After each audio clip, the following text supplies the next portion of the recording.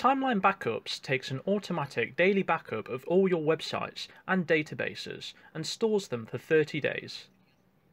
If you have the Timeline Backups product, you may want to view the most recent backups of your website. To do this, you'll first need to log in to your 20i account. Once you've done so, you'll then want to select the package that you wish to view the backups for. Once you've done so, you'll then want to select the Timeline Backups option from the File section. At this point, you can then select View Snapshots for either the site files or the database that you wish to view the backups for. After selecting View Snapshots, you'll then see the Snapshot Time drop-down. This will have all the snapshots from the last 30 days. From this point, you can then select which backup or backups you'd like to restore.